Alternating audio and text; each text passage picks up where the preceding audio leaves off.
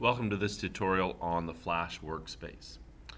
So we're just going to go through and look at all the different features in Flash, what the different tools are, and some of the different workspaces that are available.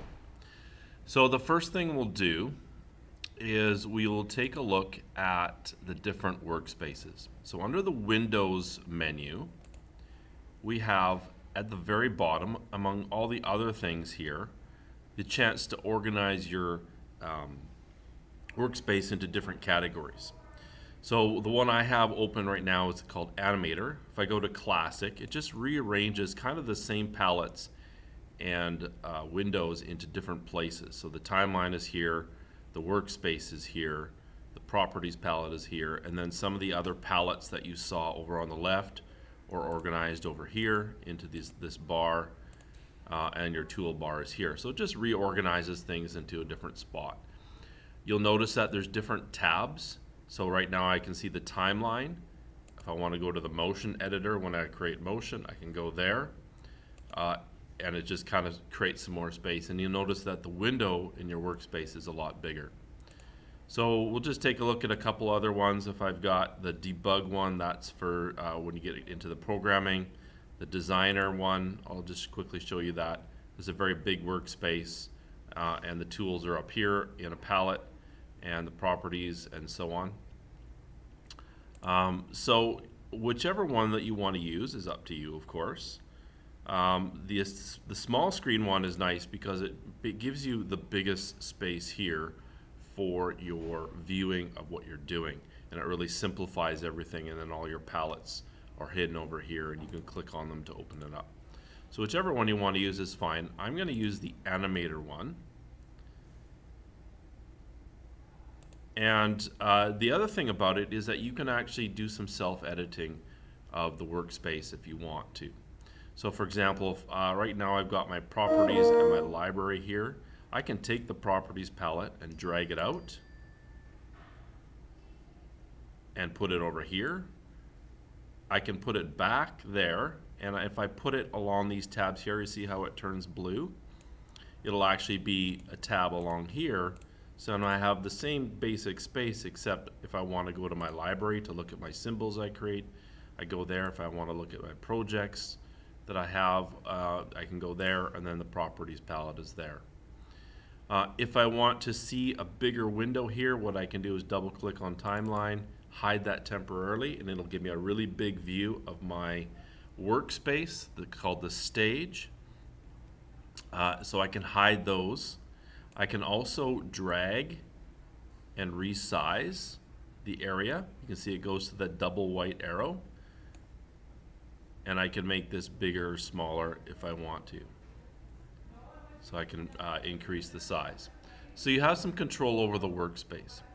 So kind of the really important things, of course, are the stage, which is where you're going to do the drawing and animating and be able to view it. You have your different tools here, and it works in conjunction with the properties palette. So what I'm going to do actually before I continue is I'm going to reset the workspace to where it was. So I'm on Animator, and go down here near the bottom, I can go to reset animator and what it'll do is it'll put everything kind of back to where it was. I'm just going to drag this over a little bit so I have a little bit bigger workspace to work in. The tools there are these are all the drawing tools and for each tool there's different settings kind of near the end here so for my brush tool I have some different settings paint normal paint behind paint inside we'll look at those later on uh, I can change the brush shape and the brush size. Uh, this button here is object drawing. Again, we'll look at that. And then, of course, I've got my different colors. So each tool will also have a different properties palette where you can do some of the editing. So if I go to my pencil tool, I can change the pencil color, the size of the line, the style of the line. The properties palette, palette is where you can adjust the tools for drawing. Up here the, uh, is your timeline, another very important place. You have the ability to work in layers. You can see I had a, a quick animation there to introduce. I have two different layers. One is actually a folder, and inside I have a whole bunch of layers there with the different letters on, and this is how I created my animation. So I can open and close those folders. You can tell it's a folder by the symbol and by the arrow. Uh, along the timeline, you have different numbers. Those are keyframes, and the keyframes basically are basically uh, one picture at a time, much like a movie. You have frames, and in a movie, it's usually about 29, or sorry, 24 frames per second. In Flash, the default, I believe, is 29. Uh, in The Hobbit, it was filmed at 48 frames per second. So uh, you can change the frame rate uh, down here. You can see, oh, it's actually 24 in Flash as well. So you can change the frame rate there. You can play, rewind. You've got some controls over the timeline there. Um, you have this thing called onion skin, which allows you to look at more than one frame at a time on your stage. And we'll look at all those later when we get into the animating and drawing. Creating a new layer, creating a folder, and the trash can, of course, is deleting. So this red line is called your playhead, and that just allows you, I'll turn this animation on, it allows you to drag and kind of slowly look at your animation that you've created, and you can drag that back and forth. You can see that I changed the color of my top text, and then you can see that I animated the bottom text. So right now I'm at 200 frames, which is at 24 frames per second is probably a little less than 16, 17 seconds of animation so far. On the left here, you've got different palettes, so colors you can choose. Uh, you have different swatches that you can choose as well. So if you want to click on a red, you've got a variety of different reds you can choose from. You can go there. The color palette, of course, you can scroll through and look at different colors as well. The align, basically what this align palette does is uh, controls where you place objects on your screen. The transform uh, allows you to rotate, skew, um, kind of take your, your object or your shape and uh, rotate it, skew it, reshape it, um, so you can have a different view of it. The info palette basically uh, gives you width and height, uh, X and Y coordinates, so where it is placed along here, it can be quite handy. So you can see the X and Y coordinate changes as I draw my tool there. And then it tells you if I click on a color, I'll just go to my black arrow here, I click on that and it tells you, uh, or I'll just put my mouse over top of it, there you go. It says the RGB color is 00102 and so that gives you some information about the color. So whatever color you choose, so if I go here, you can see it gives it a, no, it doesn't actually. So I click on that. Interesting, it's not working. Maybe I've hidden that.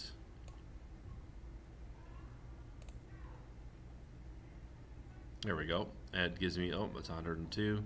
So if I go down here, you can see that it's a different color, 153 in red.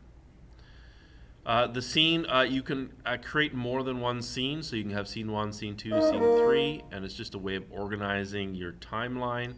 We'll get to that a little later on. Uh, you've got your motion presets down here, um, where you can drag in some preset motions, of course, very logical. Uh, you have your typical menus up here, so your file save, uh, import, export, Import basically is bringing in other objects from your uh, either the library, or sorry, your folders into the library, or directly onto the stage, which is the drawing area. So you can import audio, you can import um, drawings uh, from, uh, say, Photoshop or Illustrator, and have them in your library to use in your your um, in your Flash animation. The publish settings, uh, that's basically for when you end up producing the, the movie. You can change the settings there. Uh, and of course, there's print and exit uh, in the file. Edit, you have the cut, copy, paste uh, things as well. The, one of the big differences is you have the timeline cut, copy, paste. So it works a little differently as well. You can cut, copy, paste like you normally do, or you can cut frames and you can copy frames and layers. Um, so it works a little differently than the regular one there. Uh, you've got your view uh, where you can look at different things. So right now I've got the grid turned on. Just gives me some uh, a way to place things evenly in the stage. So I can hide the grid, I can hide the rulers. Um, I'm going to show the grid for now. And then you've got this thing called snapping. So basically it allows you to snap to the grid, snap to guidelines you can drag out from the rulers. Um, so just it's a way of lining things up kind of in a perfect position. So if I click on snap to grid, whatever I draw, I can snap to these lines and it will line up perfectly with them. The guidelines you basically drag from the ruler and you can place them there. Uh, they're a light green, a little hard to see at times, especially when the grid is on, but they are there. So you can have your animation snap to those and place them exactly in that position. Uh, you've got your modify, so this is where you can create symbols and you can edit symbols and you can edit your timeline. Again, we'll look at all of this in more detail, or at least some of them, over the next bunch of tutorials. You have insert, so you can create a new symbol. Um, you have insert timeline, and this is where you can create layers and frames and keyframes. Um, and we'll get to those later on, but basically a frame, like this one right here, is, or is um, sorry, not that one there. That's a keyframe. Uh, frame is this one here, the square, and that just basically um, creates time and distance along your timeline, um, but there's nothing drawn there. A keyframe is this, and it's basically a circle, and you can tell it's been drawn in if it's black. If I have a keyframe that is just a circle, then there's nothing drawn in there, but it allows me to draw in there. So they're really easy to create. You can also right click and create your, uh, your animations, insert frames, keyframes, uh, cut and copy frames. You have those uh, as well. Right, and so of course there's more there. You've got command, control. This is where you can play, rewind your movie. You can go one frame at a time. It's also where you can test it out to see what it looks like. So if I go control test movie, it'll create what's called a shockwave flash file, SWF. Open it up, and you can play it. Could I please have Rachel Woodward, Grace Goslin, Everett Kellner, and Elko Skinner to the office, please? Well, there you go. You can tell I work at a school. So there, it will play it and loop it until you, of course, you close it. So it gives you an idea of what your flash will look like. Basically, the white box here is your stage, and everything will appear on that animation. Hey, uh, debug, that gets into some high-tech programming stuff. And then window, this is where you can find different things. So for example, if you're looking for your actions palette, um, it will open that up, and this is where you can get into ActionScript controls, which is the, the programming language for Flash, um, when you get into some advanced stuff there. So you can open up different windows that aren't normally there. That will allow you to do some more editing. Okay, so you've got your toolbar, you have your main uh, toolbar. So if I open that up, it's got your things like open, save, print, uh, and all of those are accessed under Windows. Then of course you have, which is generally a really good in Adobe, your help folder. So you can go to Flash Help and try and find some tutorials, and um, and some are videos and some are just written uh, for the help. So that basically is your workspace. I would say probably the most important things are your tools, your stage, and your timeline. So we'll focus on that over the next little while. And then your properties palette where you can do some editing of your tools. That is the Flash workspace. There is more, and we will show you some of this in greater detail in the next tutorials.